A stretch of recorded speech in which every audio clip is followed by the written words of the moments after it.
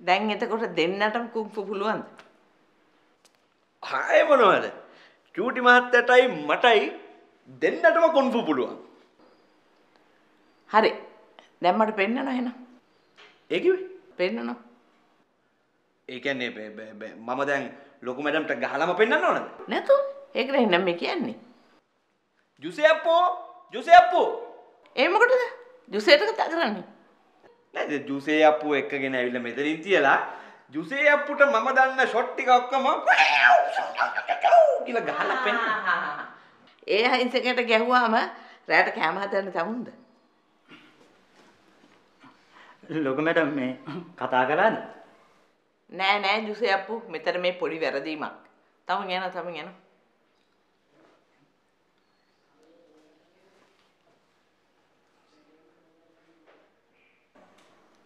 දැන් එතකොට චූටි මහත්තයට සටන් කලාව පුළුවන්ද? හාය මොනවද ලොකු මැඩම්. චූටි මහත්තයා ඔය පන්තියට ගියේ සටන් කලාව ඉගෙන ගන්න නෙමෙයිනේ. චූටි මහත්තයා සටන් කලාව ගැන දන්නවා. චූටි මහත්තයා ඒකට ගියේ ඒක පොලිෂ් කරගන්න පොලිෂ් කරගන්න. එතකොට දැන් අර හඳහාමිගේ කතන්දරේ ඉවරද? ලොකු මැඩම් මෙතනට ගිහිල්ලා දාපු පාට් එකේ හැටියට ඒ කතන්දරේ එතනින්ම ඉවරයි. එහෙම නැතු ඉතින් බෑනේ ඔව නතර කරන්න. ඔව් ඉතින් ඒ ගෑනිත් පරණ වෙලා අතපය වනන්න ගත්තා නම් ඉතින් ලොකු මැඩම්ටත් සෑහෙන්න කන්න වෙනවා. මොකද්ද කිව්වේ? නෑ මේ මේ ලොකු මැඩමුත් මේ වගේ කුන්ෆු ඉගෙනගෙන තිබ්බනම් එතනදී මීට වඩා වැඩක් කරන්න තිබ්බනේ.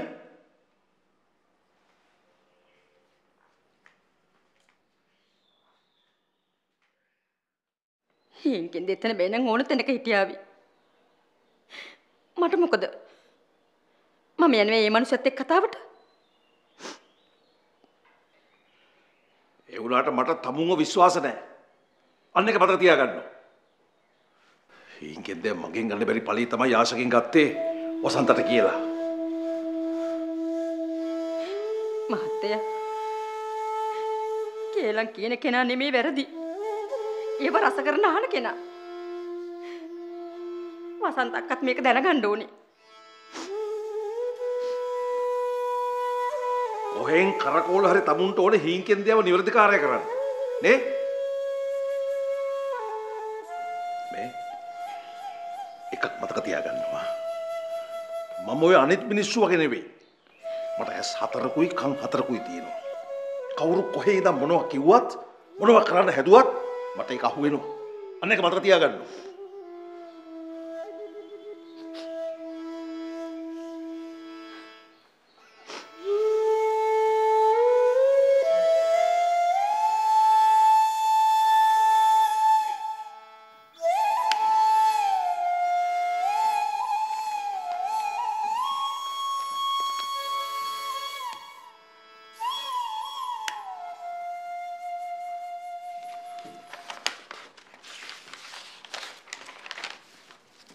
මොකෝ දරුවෝ?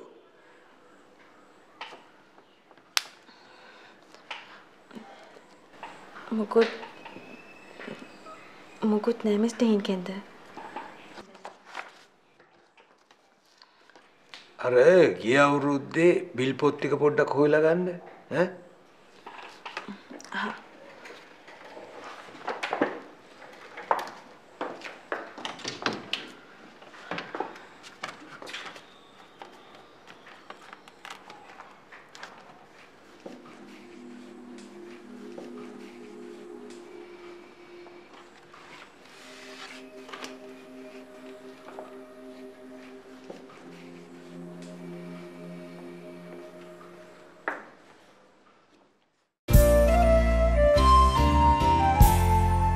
සඳ සාවී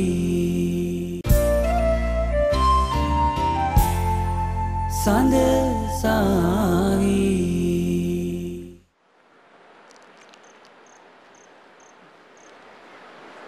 අබේසේකර සර්ගේ පුතාව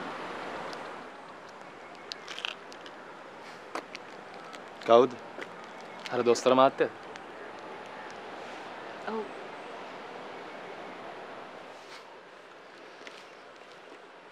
එයා නේද වගේ නංගිව සනීප කළේ? ඔව්.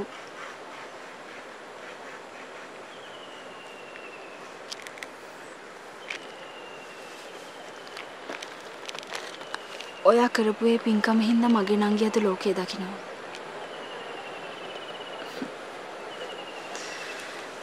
ඒ පින් ඔයාට විතරක් නෙමෙයි දෙවුරා. ඔයා වගේ පින්වන්ත පුතෙක්ව හදපු ඔයාගේ අම්මටත් අයිතියි.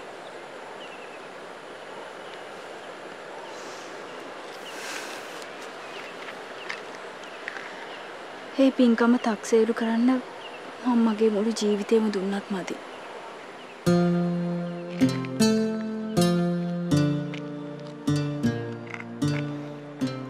මොනවද දායද මේ කියවන්නේ දැන් ඒ දේවල් සිද්ධ වෙලා කොච්චර කාලයක් ගිහිල්ලාද ඇයි ආපහු ඒකම කියවන්නේ මට මැරෙනකම් කියෙව්වත් මදි.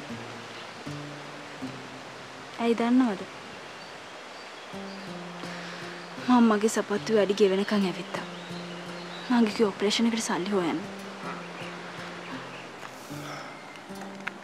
ඔයා මගේ හිත ළඟ ඉන්නකම් මට ඔය මුකුත් ඇගීම එපා දායදී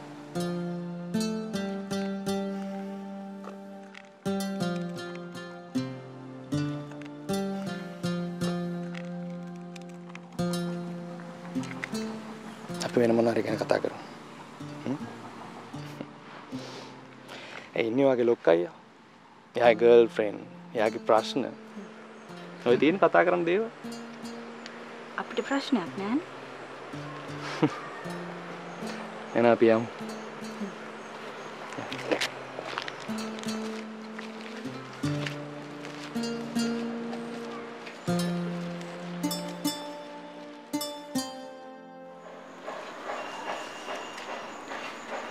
එයා තමයි සීලවතී.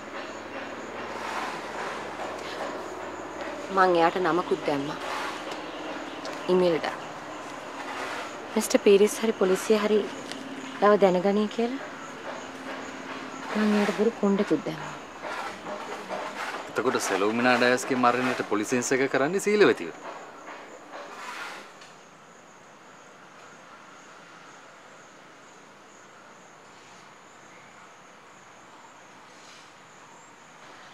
එයාව CID එකෙන් හොයනවා.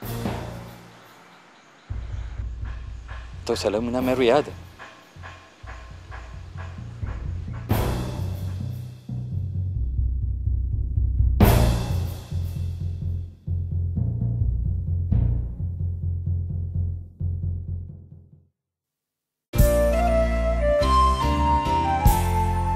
Sandesari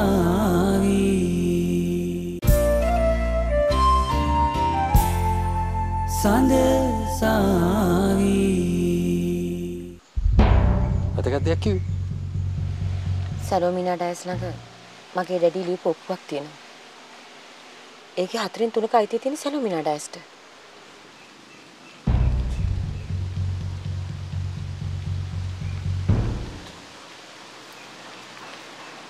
අයිතිය අත්හැරියා කියලා කිව්වට සැලෝමිනා ඩයස් එක හංගලා තිබුණේ යාගේ සර්වන්ට් ළඟ.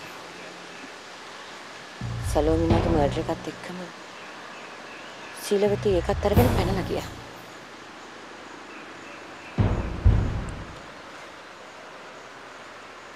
එතකොට එයා මැඩම් ළඟට ආවේ සීලවතී පැනලා ගියාට පස්සේ මගේ ඩැඩි යාගෙන දැනගෙන හිටියා. එයාට හැංගෙන්න උදව් කරේ මගේ ඩැඩි. ඒ කාලේ යාගේ නඩත්තු කරෙත් මගේ ඩැඩි. ඒ මගේ ඩැඩිට ඒ ඔප්පුව ගන්න ඕන නිසා. හැබැයි සීලවතී නොදී තියාගත්තේ ඒක වටිනාකම දන්න නිසා. මගේ ඩැඩි මිනිම්බරුවට පත් වෙනකොට ඉබේම යාට පැනලා යන්න සිද්ධ වුණා. සීලවතීට ජීවත් වෙන මගක් නැති වෙනකොට එයා මාව හොයාගෙන ආවා. මැඩම් මෙයාව තියාගත්තේ මේ ඔප්පුව ගැන දන්නේ හින්දා. ඔව්. එතකොට මේ ගැන මිස්ටර් පීරිස් දැනගෙන හිටියද?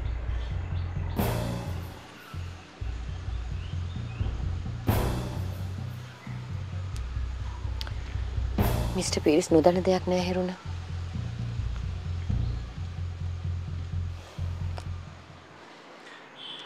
તો සීලවති මැරුවේ කවුද?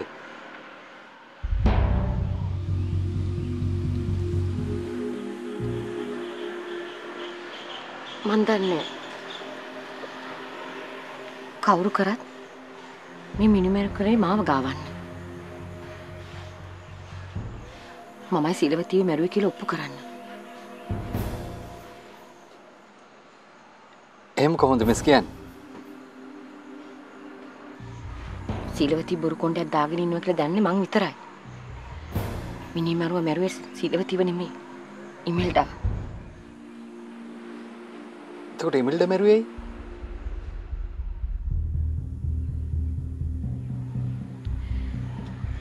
ඉමෙල්ඩා නිර්මාණය කරේ මම නිසා.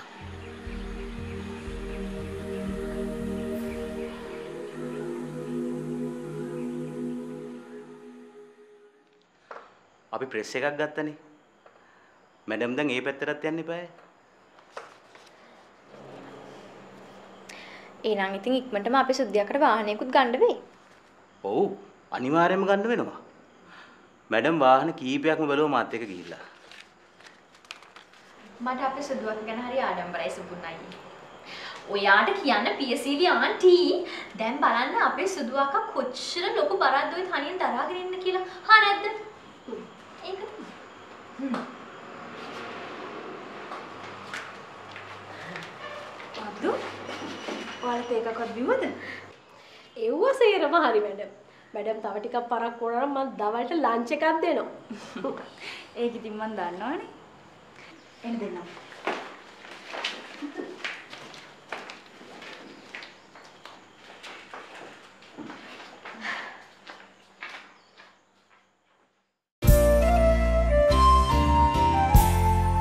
සඳ සාවී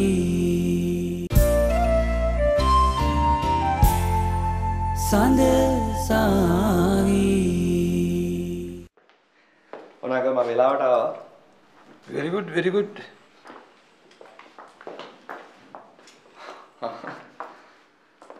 මේ ඉනාකලිය නැති වෙච්ච එක්කන.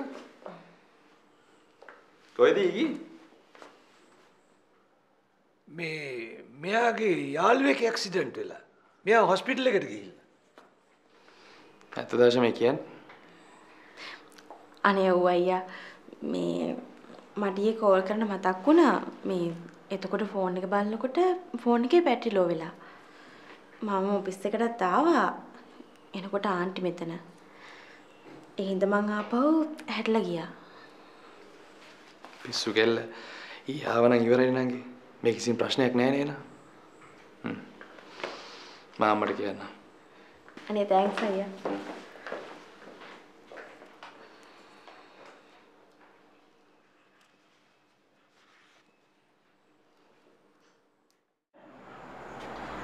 මගේ ළඟ වැඩ කරන්න විශ්වාසවන්ත කෙනෙක් ඕනේ. නාගිගෙත් යාළුවෝ හින්දා මම ඔයාව වැඩට ගන්නවා. මං කියපු සහතික ටික හදන් හෙට එන්නකෝ. අනේ ගොඩක් ස්තුතියි අක්කේ.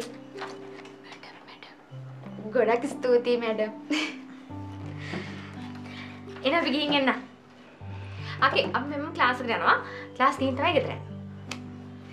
පරිස්සමින් යන්න.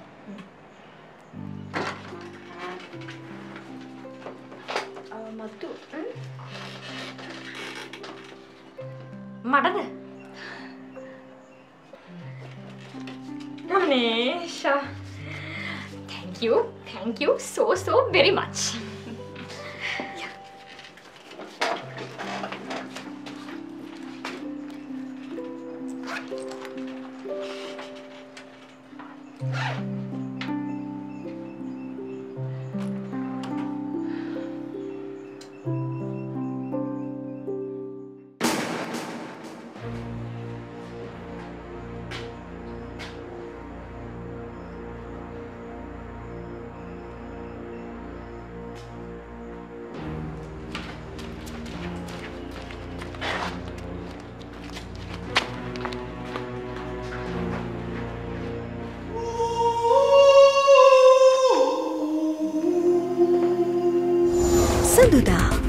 සඳසාවේ මම ආව කියලා ඉරිස්ට කියන්න. හැබැයි ඉතින් මගේ අදහස නම් වෙනස් වෙලා නැහැ. ඒක එමමයි. මේක තරම් මනුස්සකමට ඉන්න එච්චරයි. ඒ මනුස්සයට හරියනකොත් මේ ගැන කැමති නැහැ. මට නම් එක වෙලාවකට පේන්න බෑ. උඹට පේන්න ඇස් දෙක පෑදුවේ. හේ උඹට පේන්න බැරිය කීම තමයි. සඳ